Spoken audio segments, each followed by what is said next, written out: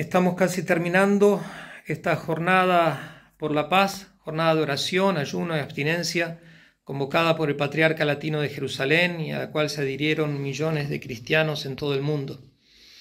Sigamos implorando por la paz. Desde Belén hemos rezado hoy en la Basílica, donde nació el Príncipe de la Paz, nuestro Señor Jesucristo, eh, todo el día con adoración, rosario, procesión.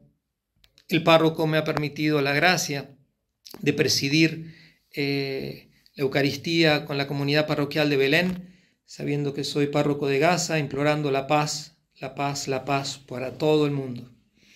Nuestra comunidad cristiana de Gaza está bien, pero ciertamente que el temor es real y el peligro es real. Le han vuelto a pedir que dejen, pero ellos no ven a ningún lugar donde puedan ir eh, en seguridad.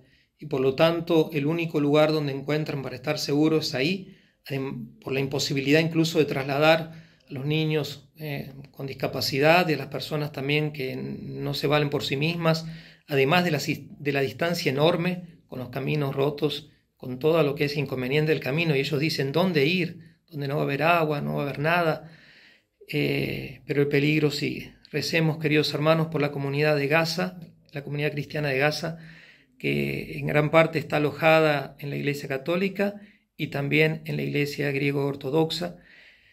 Eh, imploremos la paz, agradecemos la cercanía de, millones de seres humanos que en todo el mundo desean la paz sobre todos los habitantes de esta bendita tierra.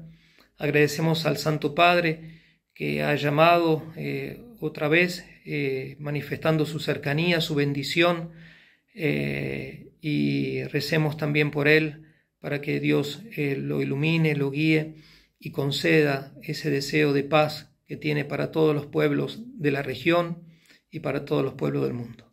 Muchas gracias.